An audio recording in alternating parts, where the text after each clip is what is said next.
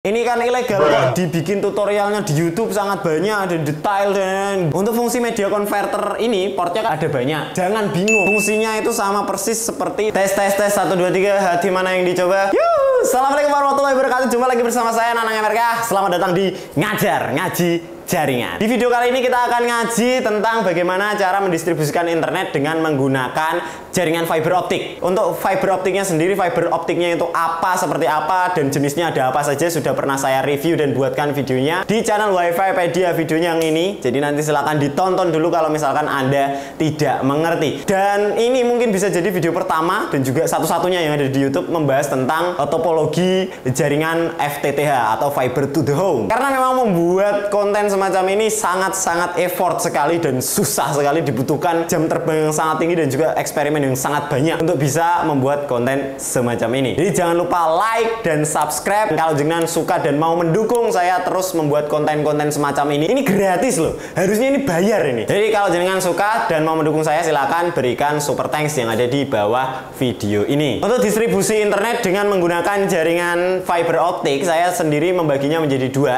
Yang pertama menggunakan OLT, yang kedua menggunakan media converter. Untuk yang paling modern dan juga manajemen resikonya rendah yang digunakan oleh ISP-ISP besar, itu biasanya dia pakai yang namanya OLT atau Optical Lines Terminal. Karena OLT ini paling proper dan juga resiko maintenance-nya kecil. Sama persis sistemnya seperti sound pasif kalau jenengan tahu ya. Jadi dia side to side dari amplifier ke sound sound pasif. Sama persis kerjanya seperti OLT, jadi OLT ke ONT yang ada di rumah-rumah klien. Jadi misal misalkan kalau ada klien satu mati, yang lain tidak akan mati karena OLT-nya masih menyala. Sistemnya kurang lebih seperti itu. Lalu secara kalkulasi budget, OLT itu juga termasuk terjangkau. Harga OLT paling murah sekarang apa ya? Yuso mungkin. Itu dua port, seharganya sekitar 4 jutaan sudah dapat SFP-nya dan itu bisa menampung 164 klien kalau nggak salah. Koreksi kalau saya salah ya. Itu termasuk alat yang murah di dunia networking loh. Tetapi kalau jenengan pengen mendistribusikan internet dengan menggunakan OLT, yang paling sulit adalah ilmunya. Anda akan sangat sulit sekali mendapatkan ilmunya karena itu ilmunya yang sangat mahal. Jadi OLT itu adalah makom paling tinggi di dalam dunia jaringan. Karena Anda akan berhadapan dengan rasio, ada rumusnya, bagaimana cara menghitung lossnya, kemudian bagaimana proses distribusinya ke ODC dulu, ke OTB dulu, atau ke ODP dulu langsung. Dan yang membuat Anda mempertimbangkan lagi adalah alat-alat penunjangnya. Jadi alat-alat penunjangnya itu harganya cukup lumayan. Ketika Anda menggunakan OLT, Anda tidak bisa tidak harus menggunakan menggunakan yang namanya splicer. Splicer ini adalah sebuah alat yang fungsinya untuk menyambungkan kabel fiber optik yang terputus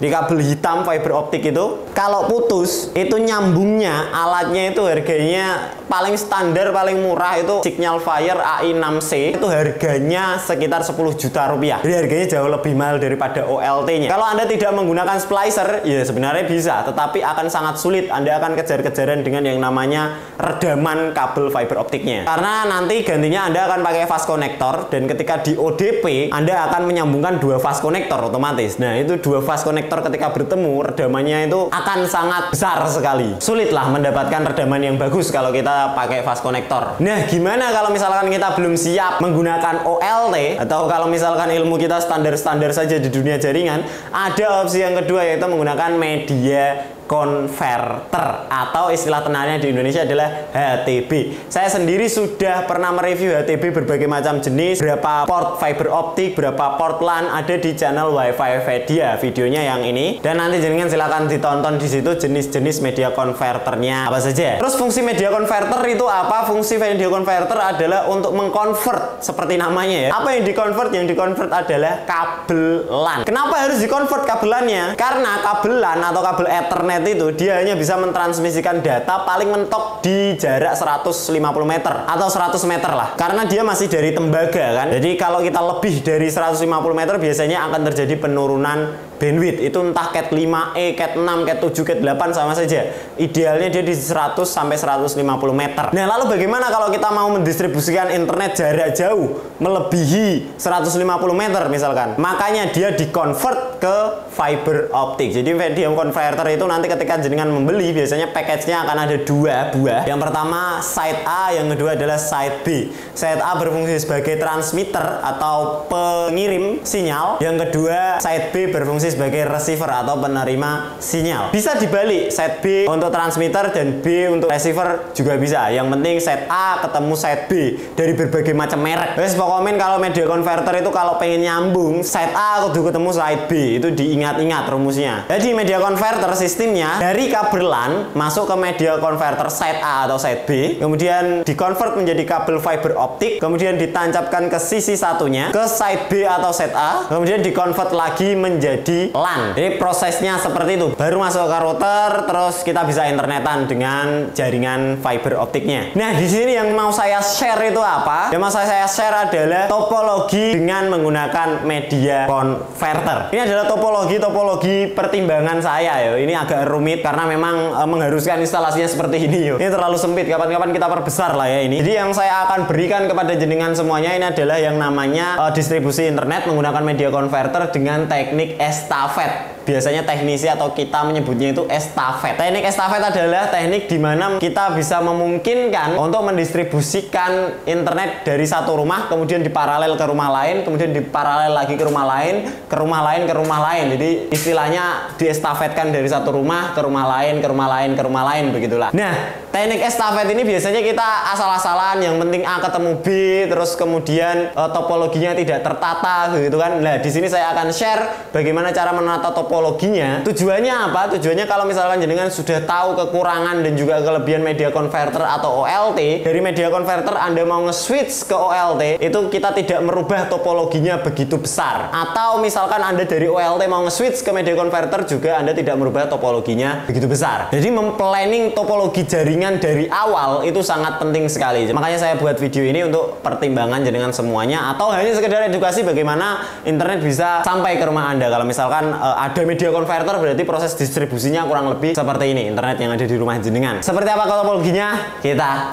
gaskan. Oke, di sini kita akan langsung uh, membahas tentang topologinya seperti apa. Nah, ini kita akan bahas dasar saja, basic saja. Ini tentu saja uh, kita akan tidak bahas detail karena butuh waktu yang akan sangat panjang. Ini hanya rangkuman-rangkuman dari konten-konten saya yang sudah ada di playlist belajar jaringan atau di ngaji jaringan. Untuk belajar spesifiknya bagaimana konfigurasi alat ini, bagaimana treatment-treatmentnya, ini jaringan bisa belajar di kursus.wifipedia.id. Di sana jaringan bisa belajar tentang jaringan jauh lebih terkonsep dan jauh lebih ter terarah, tidak barbar dan juga tidak global seperti ini. Karena ini di YouTube jadi uh, durasinya tidak bisa sangat panjang begitu. Untuk proses distribusinya, tentu saja alat-alatnya standar saja. Yang pertama kita butuh yang namanya router ISP. Fungsinya untuk apa? Fungsinya router ISP, internet dari semua ini sumbernya itu ya dari router ISP. Internet semua yang ada di display ini yang kita ibaratkan rumah-rumah orang ini nanti. Ini sumber internetnya cuma satu yaitu dari router ISP. Nah, di sini saya menggunakan ISP dari PT Dani Suara. Ini nggak di endorse ya. Jadi kemarin ada yang komen, ini kan ilegal kok dibikin tutorialnya di YouTube sangat banyak, ada detail dan enggak. Ini semua alat ini Anda bisa dapat di Tokopedia, di Shopee, semuanya dijual secara bebas di Indonesia, tidak ada izinnya. Alatnya itu Anda bisa beli dengan sangat mudah di marketplace-marketplace. Biasanya yang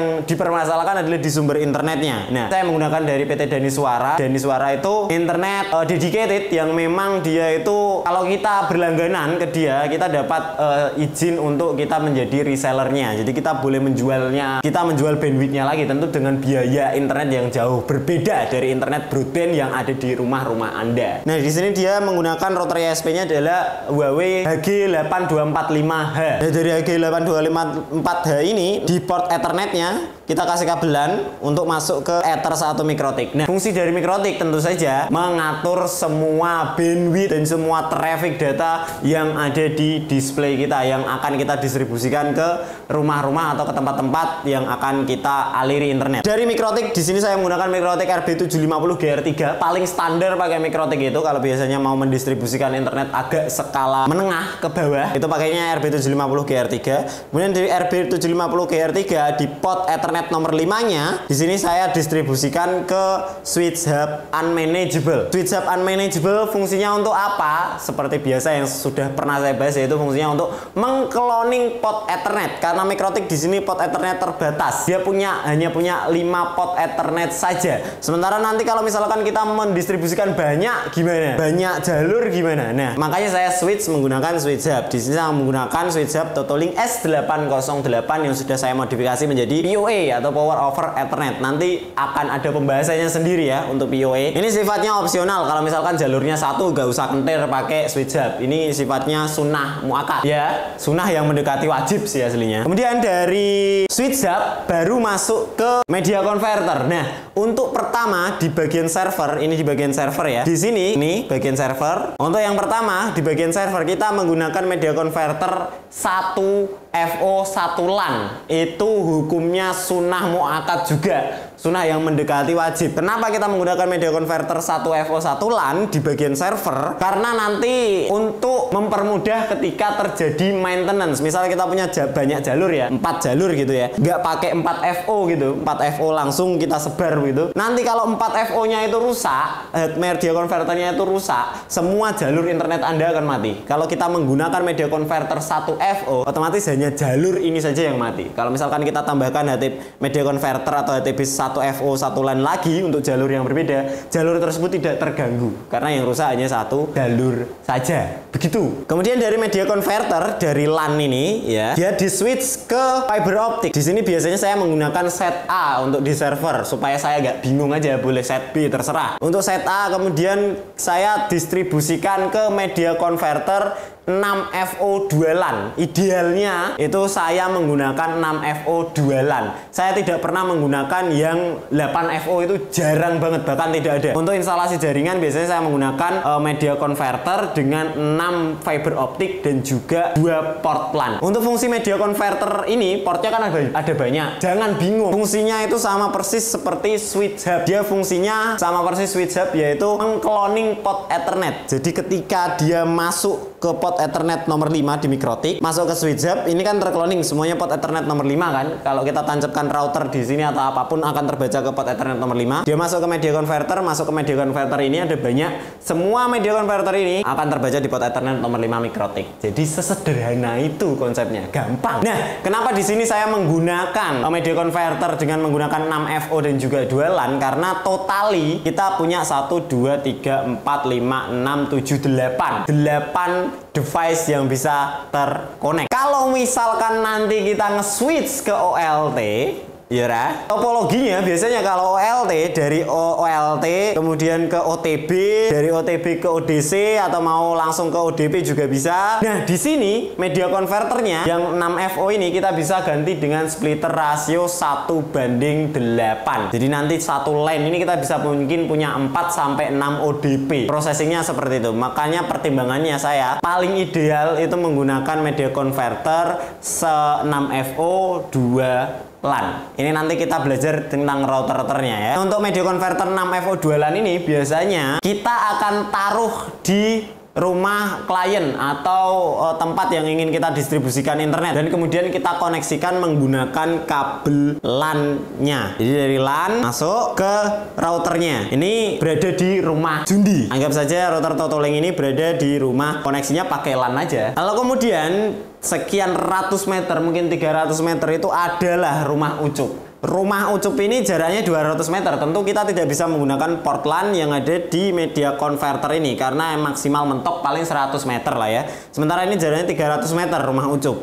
Tentu saja kita bisa manfaatkan yang port FO-nya. Nah, kita bisa pakai yang B, kita juga bisa pakai yang A. Yang penting nanti di rumah Ucup ketemunya B atau A. Di sini saya tancapkan dari rumah Jundi itu ke side A sehingga nanti di rumah Ucup saya harus memakai media converter lagi di side B. Kemudian baru kita tancapkan LAN ke port 1-nya. Setelah itu dia bisa terkoneksi internet dari mikrotik kita. Nanti kita akan praktekkan. Lah, di sini media converternya yang mana? Loh, media converternya sudah ada di dalam TP-Link WR820N ini. Karena saya sudah modifikasi seperti router Mercusis yang ada di di video yang ini ya. Kemudian di jarak mungkin 200 atau 300 meter ada segerombolan orang, beberapa orang yang pengen connect lagi ke server kita. Kita bisa extend jaringannya atau kita bisa estafetkan lagi dengan jaringan fiber optik. Di sini saya gunakan uh, port A, port FO yang A dari set A. Kemudian saya alirkan kabel fiber optik masuk ke media converter lagi. Di sini saya menggunakan uh, 3FO 2 LAN karena punyanya itu jenengan paling ideal pakai 6FO 2 LAN. Tapi kalau misalkan jenengan memprediksi di tempat itu tidak terlalu banyak yang mau connect, pakai 3FO cukup ya pakai aja 3FO gitu. Kalau misalkan nanti bertambah banyak kita bisa upgrade ke 6FO. Biasanya saya gitu. Nah, dari situ kita bisa estafetkan masuk ke site B yang ada di media converter. Jadi misalkan ada orang di tempat yang ini mau terkoneksi, kita nggak usah susah-susah narik kabel FO dari rumahnya Jundi begitu dan misalkan ini di topologi OLT ini bisa kita ganti jadi ODP dengan rasio 1 per 8 lagi jadi ini sangat ideal sekali lah topologi ini. Kemudian dari tempat ini misal ketika ada klien mau terkonek silakan dikonekkan begitu kan? Silakan dikoneksikan. Kalau misalkan ada tempat lagi yang sekiranya ada banyak orang yang mau tersambung prediksinya dengan bisa tambahkan media converter lagi di sana diestafetkan lagi di sana tergantung dengan site yang ada. Jadi karena di sini yang saya gunakan untuk estafet atau ke media converter berikutnya yaitu set A, maka di media converter ini dia masuk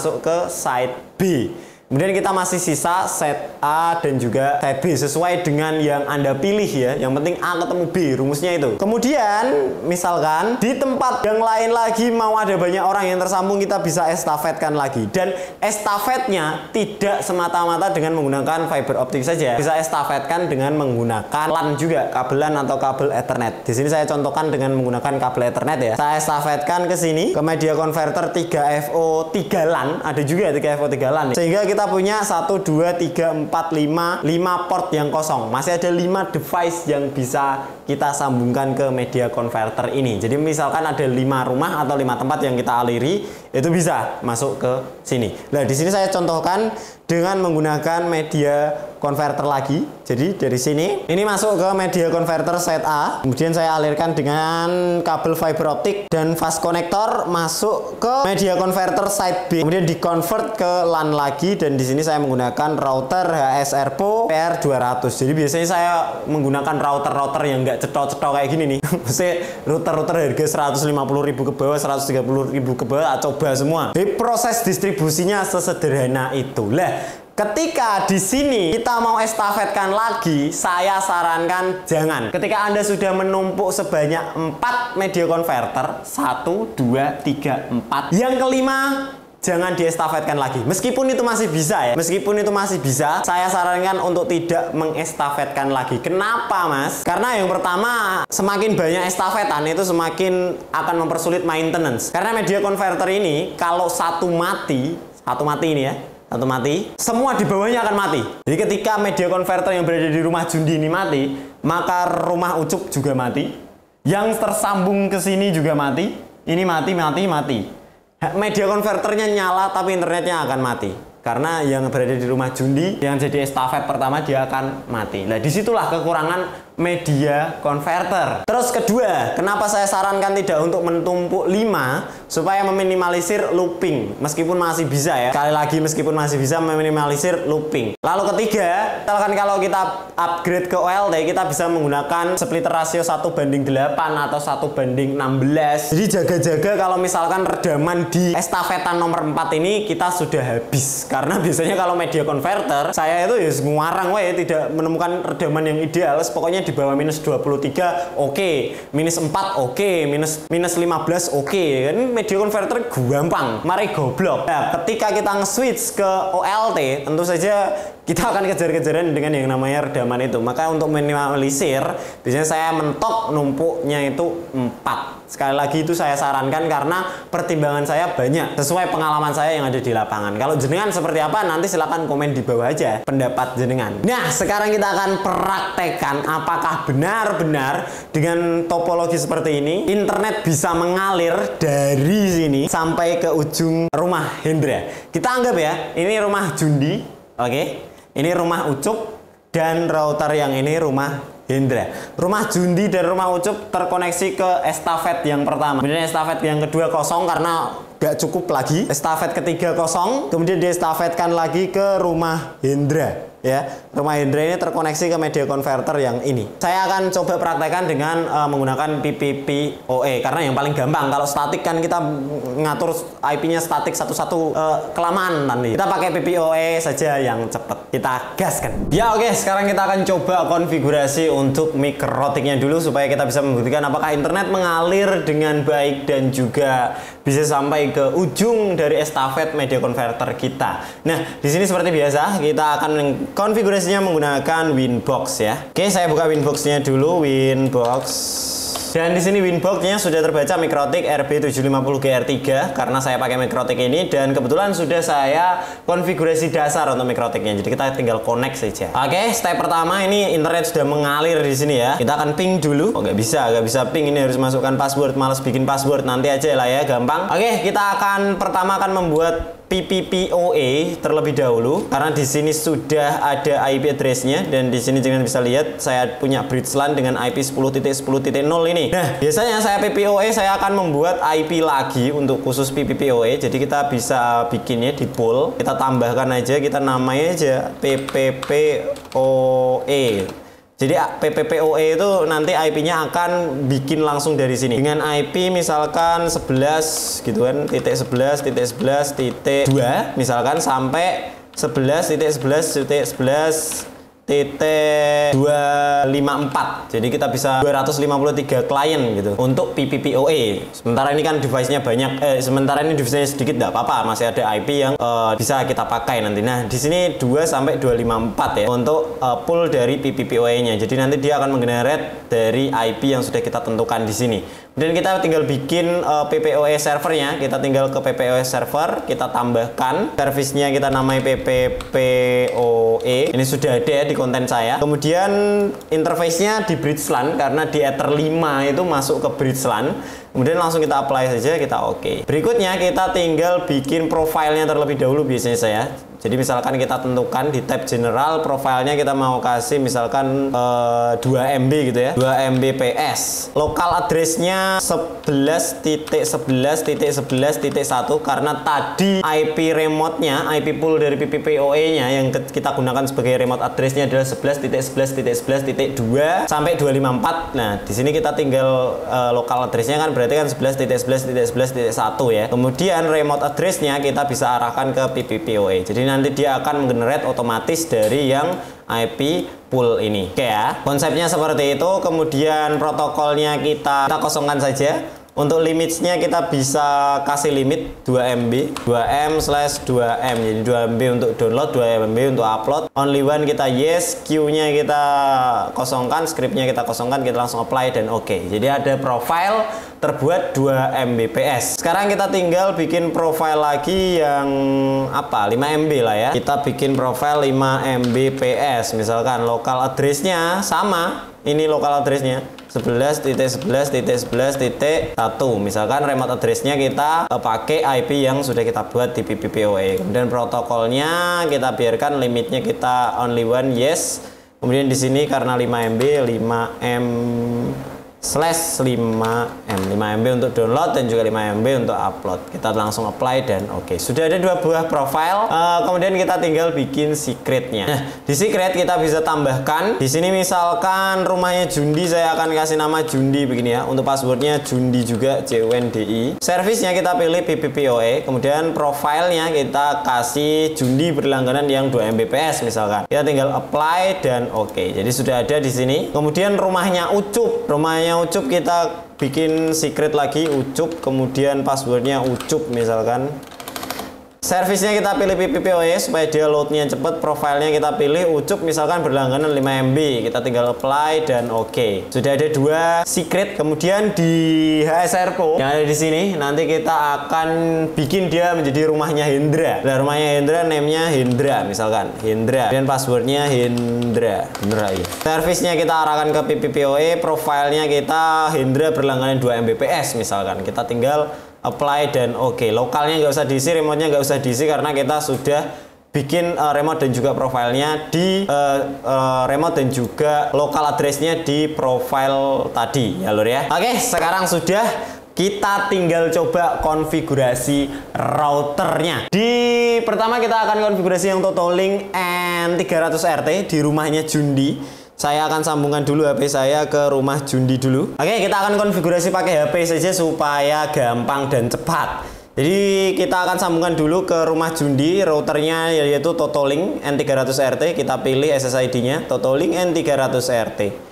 Kemudian kita cek dulu IP address dari Totolinknya yaitu 192.168.1.2 berarti IP-nya 1.1 ya. Kita tinggal buka saja 192.168.1.1 dan untuk username-nya adalah admin kecil, passwordnya juga sama, admin kecil, kemudian kita login. Oke, kemudian kita bisa pilih quick setup atau ke advanced setup. Kita pilih yang quick setup saja supaya cepat. Nah, kemudian di sini kita langsung bisa one setting ada dynamic IP atau kita pilih PPPoE. Di sini kita pilih PPPoE kita masukkan saja Jundi passwordnya Jundi. Sesuai yang kita buat tadi kita next. Kemudian SSID nya kita kasih nama rumah Jundi misalkan. Passwordnya Nanang MRK oke kita finish. Dia sedang mengapply jadi dia akan restart dan memasukkan konfigurasi uh, PPPoE nya oke kita tinggal cek dulu di WiFi Apakah sudah ada rumah Jundi? Kita tunggu. Ya, di sini sudah ada rumah Jundi. Kita sambungkan dengan password yang sudah kita masukkan tadi ya, Lur ya. Oke, sudah tersambung dan kita coba lihat apakah terhubung ke internet dan di sini tersambung ya, Lur ya. Kita coba speed test dan kita speed test PT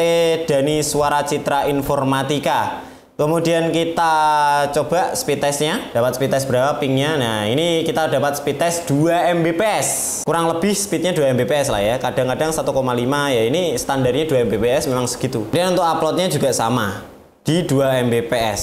2 Mbps kalkulasinya kan segini 1,75 MB. Jadi sudah benar dan kita coba lihat di mikrotiknya. Di mikrotiknya kita coba diklik di active connection. Nah, di sini sudah ada masuk Jundi. Nah, di sini kan ada IP remote-nya. Ini kan IP remote-nya kan 11 11.253 lah. Ini kalau kita akses dari PC ini masih belum bisa. Jadi kalau kita akses buka kita kalau akses di sini 253 ini masih belum bisa nih buka routernya Jundi. Jadi routernya Jundi masih belum bisa kita remote dari server kita. Nah, caranya gimana supaya kita bisa nge-remote dari server kita? Gampang, Lur. Kita tinggal masuk ke konfigurasi router di rumahnya Jundi lagi. Kita masuk ke admin, admin. Jadi kita tinggal enablekan one access-nya supaya kita bisa nge-remote atau bisa ngakses one IP-nya. One IP adalah IP remote dari PPPoE yang didapatkan oleh routernya Jundi secara acak karena nanti kita nyetingnya acak. Kita ke advanced setup. Nah, di advanced setup kemudian tinggal di tab network kalau di Totolink. Nah, di sini ada ping access on one dan enablekan juga web server access on one supaya nanti tidak ada problem. Kemudian web server portnya kita ganti menjadi 80. Lah, supaya nanti kita tidak usah masukkan 253 i1 IP-nya berapa kemudian kita kasih titik 2 untuk port 80 80 nah kalau 80 berarti kan dia tidak usah kita tuliskan untuk portnya. Jadi kita tinggal apply saja.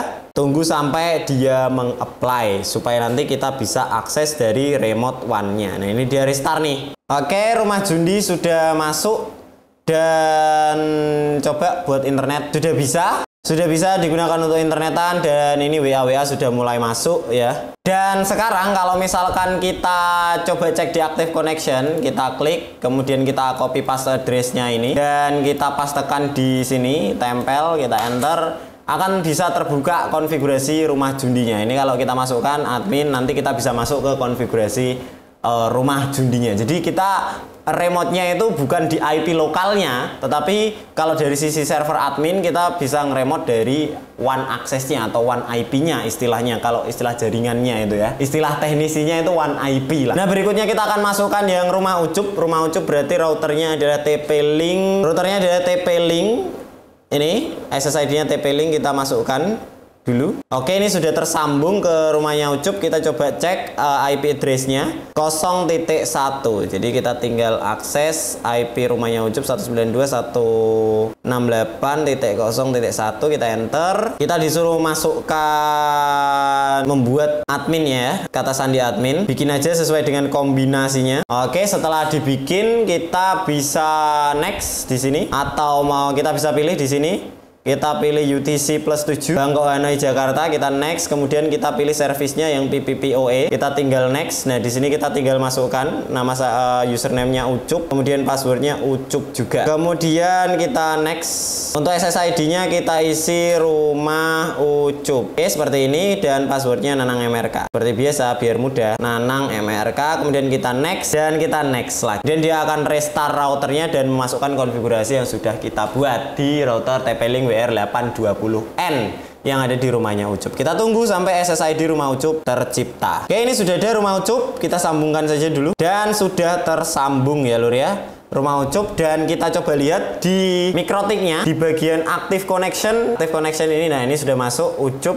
sudah dapat uh, IP PPPoE dengan one IP 254 lah di sini kita coba lihat rumah Ucup supaya bisa diakses dari mana pun di jaringan ini kita tinggal enablekan one accessnya di rumah ucup. Caranya gimana? Caranya gampang tinggal masuk konfigurasi TP-Link-nya kita finish kemudian kita pilih di bagian advance. Kalau di TP-Link itu di bagian network oh enggak. Kalau di TP-Link itu di bagian sistem. Kemudian administration. Di administration kita tinggal remote management. Nah di remote management kita tinggal enable. Nah di sini ada portnya kan 8888 kita tinggal isi 80 supaya kita tidak usah e, menambahkan titik dua portnya berapa gitu. Biar kita mudah biar kita nggak kesulitan mengingat. Lah ini kan ada one IP nya 11 11 11 254 kan. Kita tinggal save saja yang di ujung kanan ini. Oke oke sudah operating sukses dan kita coba cek apakah rumah ucup sudah bisa di remote dari server kita. Kita tambahkan di sini IP nya kita enter dan dia sudah membuka TP-Link. Oke, okay? ini sudah masuk dan ini kalau kita tersambung di rumah Jundi, kita bisa remote. Misalkan kita tersambung ke rumah Ucup ini kan, kita mau nge-remote routernya Jundi, router rumahnya Jundi kan titik 253 ya. Kita masukkan aja 11 titik 11 titik 11 titik 253. Kita tinggal enter untuk yang Jundi nanti router Totolink-nya bisa terbuka di rumah Ucup padahal ini ya kita bisa meremote routernya Jundi. Sekarang yang terakhir adalah rumahnya Hendra menggunakan HSR Pro WR200. Kita tinggal sambungkan saja. Rumah Hendra WR200 berarti di sini. Ini WR200 kita sambungkan dulu. Oke, sudah tersambung. Kita cek dulu IP-nya yaitu 1.1. Oke, kita tinggal remote saja. 192.168.1.1 kita enter masuk ke SR Pro nya passwordnya admin ya. Kalau Jin oke kita di bawah masuk kemudian kita pilih work modenya kita pilih PPPoE akun name nya kita pilih Hendra seperti ini. Kita sesuai yang kita buat tadi di secret. Hendra juga. Kemudian service name nya biarkan saja. Untuk SSID nya kita kasih nama rumah Hendra misal. Encryption nya kita pilih. Encryption kemudian wifi passwordnya kita mau isi apa Nana Anang MRK lah seperti biasa. Kita save, kemudian dia akan membuat SSID baru yaitu Rumah Hendra dengan PPOE yang sudah kita buat tadi. Sementara itu kita tunggu di Mikrotik apakah sudah masuk Hendra. Nah, di sini sudah masuk Hendra di PPPoE dan kita coba sambungkan ke rumah Hendra. Passwordnya Nanang MRK. Oke, ini masih belum bisa kita remote dari server dan dari mana pun kita berada di jaringan lokal kita. Caranya gimana kalau di router SR Pro gampang tinggal masuk ke routernya saja. Ini sudah masuk ke routernya. One is connected gini kan. Dan kita tinggal ke sistem manajemen ke web access. Nah di web access ini kita bisa on kan dan portnya kita ganti 80 kita tinggal save. Ini harusnya kita bisa remote dari mikrotik kita. Kita lihat ya ini Hendra dapat IP remote nya 252 kita tinggal copy. Kita coba pastekan di sini 252 paste enter dan terbuka HSR Pro nya dan Mari kita speed test. Apakah kita dapat speed test yang seharusnya? Hendra berlangganan paket yang berapa ini? Hendra 2 Mbps. Mari kita coba mulai. Nah sesuai dengan yang kita tentukan tadi. Oke, sudah berarti eksperimen kita berhasil ya lor ya kurang lebih seperti itu kalau misalkan jenengan mau menggunakan media converter dan kalau misalkan ada yang ditanyakan silahkan tanya di kolom komentar di bawah. Dan kalau jenengan pengen belajar secara spesifik tentang dunia jaringan jenengan bisa ikut kursus.wifipedia.id nanti di sana anda bisa belajar banyak sekali tentang jaringan dan nanti juga anda bisa ngobrol langsung dengan saya kursusnya secara virtual. Terima kasih saya Nana Amerika kalau ada tutur kata yang salah saya mohon maaf. Alin sanu mahal koto wanesian wassalamualaikum warahmatullahi wabarakatuh